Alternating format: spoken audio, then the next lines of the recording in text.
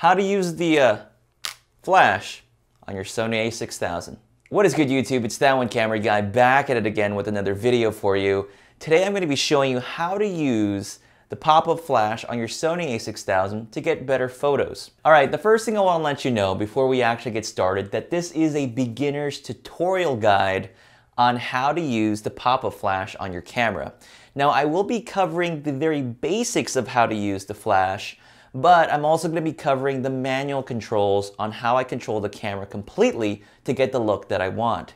Now the subject that I have here is posted on this side here. It's Link. He's kind of set up up here kind of in the, in the room to make it easier for me to take a photo of him in this example. And I'm going to go through a couple scenarios. We'll have a scenario with plenty of light, scenario with very little light, and I'll show you how I use and take advantage of the flash. Now I highly recommend that you watch the other two videos that I posted about the Sony a6000. I actually covered the full manual controls, shutter speed, aperture, and ISO, and I also go over how to use your 16 to 50 kit lens, which we're gonna use in this video. So let's go ahead and get started on the tutorial. Okay, so right now what we're gonna do is imagine a situation. I love, I love focusing on situations when it comes to taking photos especially in these kind of environments. So imagine you're in a room. Now, by the way, this room is fairly well lit uh, for the sake of the video, but imagine you were at a party and you're indoors at a birthday party and you wanted to get some really good photos with your 16 to 50 kit lens. Now let me show you sort of what I go through in my mind when I take a photo like this. Now first of all, we need to set our camera to manual mode. So to do that, just go ahead and move your mode dial to the letter M and by the way, this configuration that I'm doing right now was already talked about in one of my previous videos, which again, I highly recommend that you watch. So let me go ahead and get this set up. The first thing we're gonna do is go through the list that I always cover. Number one, determine your focal length. So let me go ahead and position link up here. For this scenario that I'm taking a picture for, I'm gonna go ahead and set up my, my focal length to about 35 millimeters. That seems like a good focus range. Maybe there's two people, maybe, maybe three people, and 35 millimeters doesn't seem like a bad spot to start with. So I'm gonna do focal length first, and then I'm gonna determine my aperture. Now, typically with a lens like the 16 to 50 kit lens, I wanna use the lowest aperture value that I can get away with on my camera. So let me show you an example. If I, I scroll the back wheel, my lowest f-stop value is 5.6. Unfortunately, it doesn't go very low with this lens in particular, so that's what I'm gonna have to work with in this photograph. The next thing I need to determine is my shutter speed. Now my shutter speed is typically 1 over the focal length. So for example, if the focal length is set to 35 millimeters, I'm going to use 1 over 35. But the problem is there's no 35, so I'm going to go to 1 40th of a second. So let me go ahead and adjust my shutter speed to 1 40th. So there we go. And then finally, I adjust my ISO based on my brightness on the environment. So let me go ahead and set up my photo here. Adjust my ISO. There we go. Position it, take a photo, and there we have it. So there's our photo of Link. Let me jump to a full capture. So there it is. It looks pretty good. I have a lot of lighting in the room right now, and so it actually looks pretty good there for me.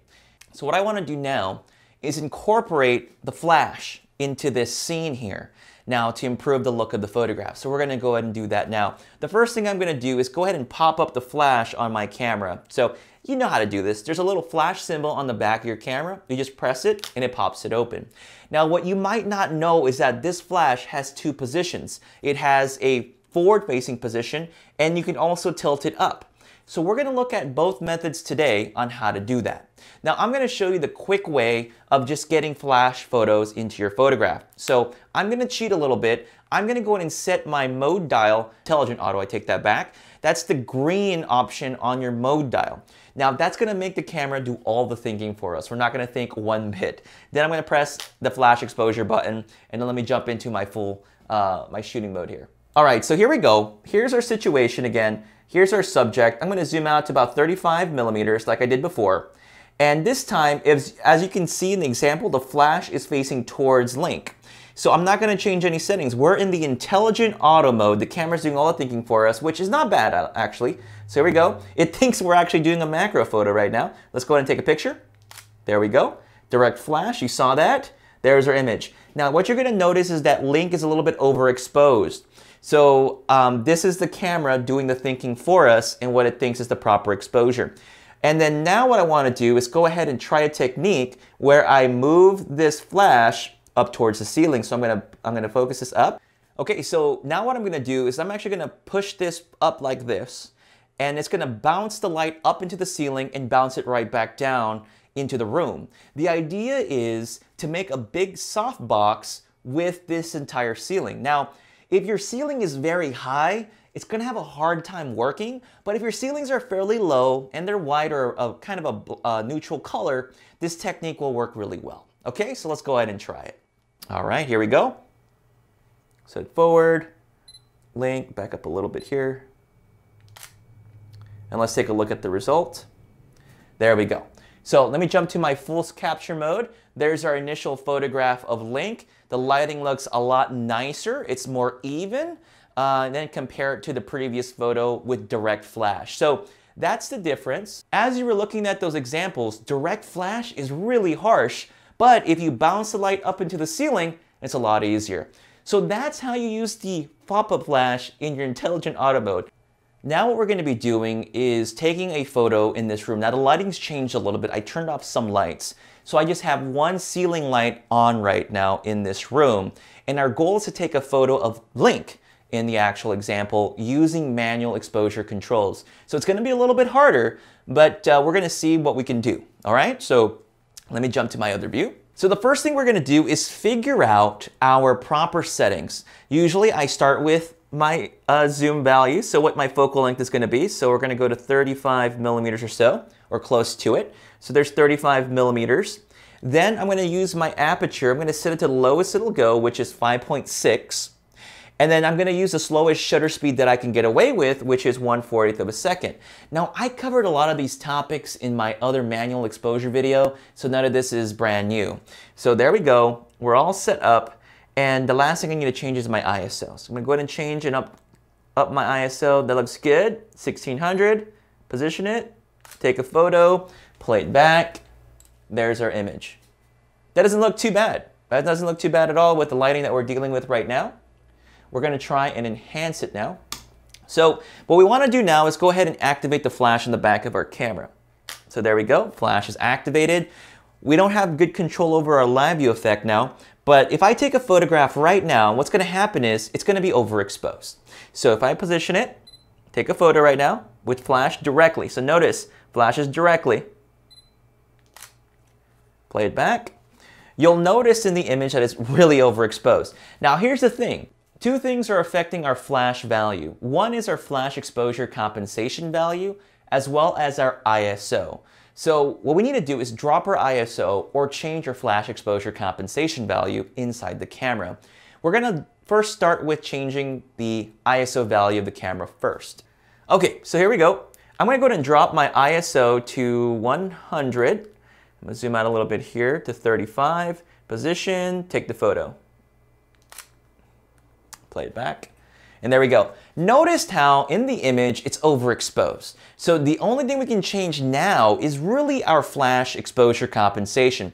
To do that, we're gonna click on menu and access our menu. We're gonna go ahead and jump to camera settings and you'll notice that there's a setting called flash exposure compensa uh, compensation. Thanks. And then drop our flash exposure compensation to minus three and then go ahead and take that same photo again. Let's position it. Zoom out a little bit. Okay, there we go. So this is direct flash, and there we go. So our flash is a little more tame, it's a little darker. Darker exposure, it's not overexposed like the previous image. Let me show you, there's the previous example. So we use flash exposure compensation to adjust for that. All right, now what we're gonna do is actually use the flash and point it up towards the actual subject this time and see how it looks. Okay, so we have roughly similar settings that we had before. I'm gonna point it up and take a picture of Link. There we go. And notice that he's underexposed in the photograph. We need to make it a little bit brighter. So to do this, I would typically increase the flash exposure compensation, but unfortunately it's not enough power to illuminate the room. So what we're gonna change is our ISO. So to my eyes, if I look at this right now, it looks like it's underexposed by about two stops, maybe two and two and one thirds of a stop. So I'm gonna go ahead and increase my ISO One, two, three, that's one stop. One, two, three, that's two stops. And then one more, that's a third of a stop. So let's go ahead and take a look. This is just out of practice, the reason why I'm, I'm using that. Let's go ahead and take a picture. And let's take a look. So there we go. That photo looks a lot more properly exposed than it did before. It looks good. And that's it. That's how you get an exposed image for link in this kind of situation. You're, you're probably thinking in your mind, how am I going to apply this in the real world? Well, what you would do is if you had human-sized people in your photo, you would do the same thing.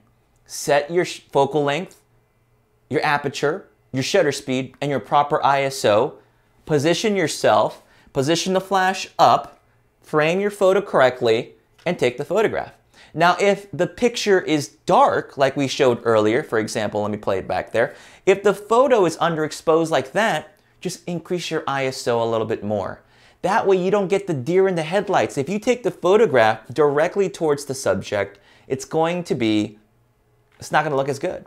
So the next thing we're gonna do is look at a scenario where you have very little light. Okay, so the lights are off in the room, we have a little bit of lighting, can you still use the pop-up flash on your camera to get a good photo?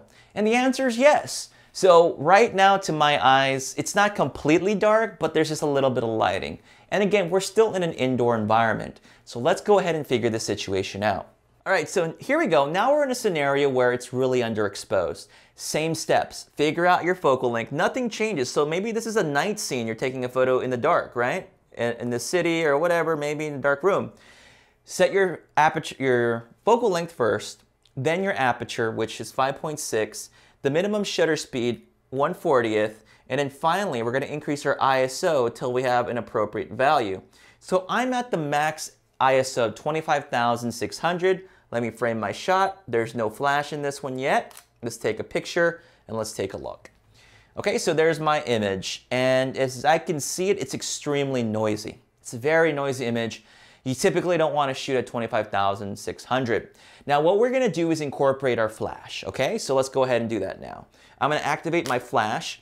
And we already know if I take a picture right now with the ISO value at 25,600, it's going to be overexposed. So let me position it, take a picture, and then take a look. There we go. Completely overexposed. So what I'm going to do is just by training, I'm going to go ahead and set my ISO to 100 and start there. So let's go ahead and drop our ISO to 100 and take a photograph. And there we go. We get a properly, somewhat properly exposed image of Link and it looks pretty good. The exposure on him is really good. Now you might be wondering, okay, if you don't have a ceiling above you and you're out in the open, this is really your only option. You have to use the direct flash on the camera in order to get a photo. There's nothing we can do about it.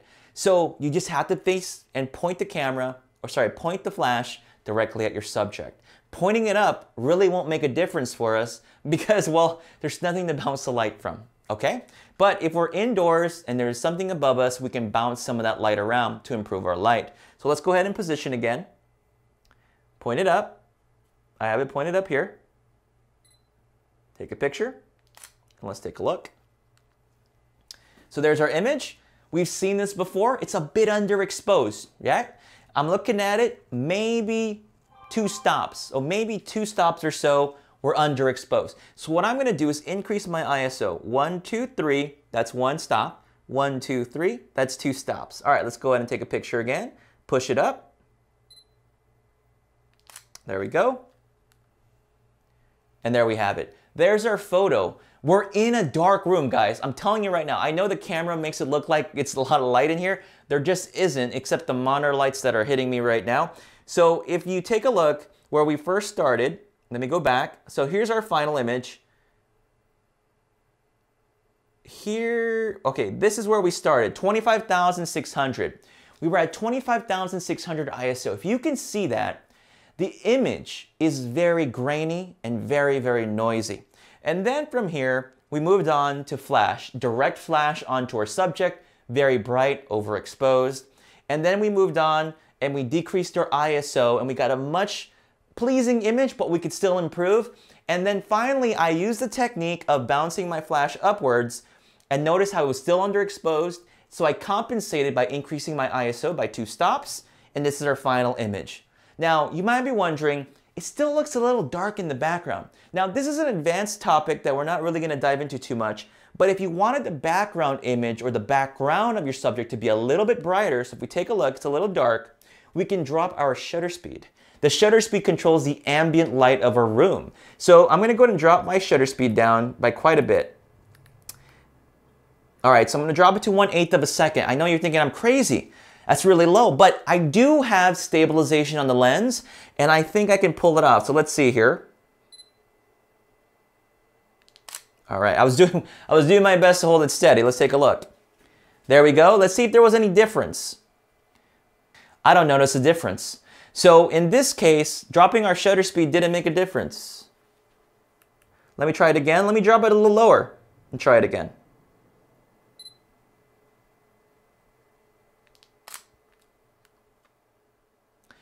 There we go. So I don't know what's going on. It's kind of weird, but um, you gotta really drop your shutter speed to get any type of effect. But if we take a look, this is at one fourth of a second.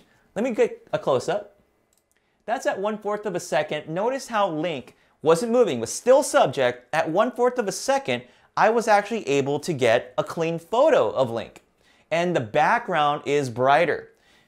Let's jump back to another photo here. So here was before, okay?